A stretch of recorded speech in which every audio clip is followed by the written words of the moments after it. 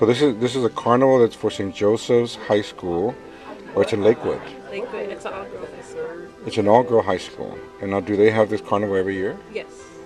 And so, the prizes are second prize is two thousand dollars, five hundred dollars, two fifty, and one fifty. So I went to St. Joseph High School in Brownsville, Texas. It was an all-male high school. Oh, Yeah. cool. So I should win. Yes. So I bought five tickets, and Rose gave me an extra one.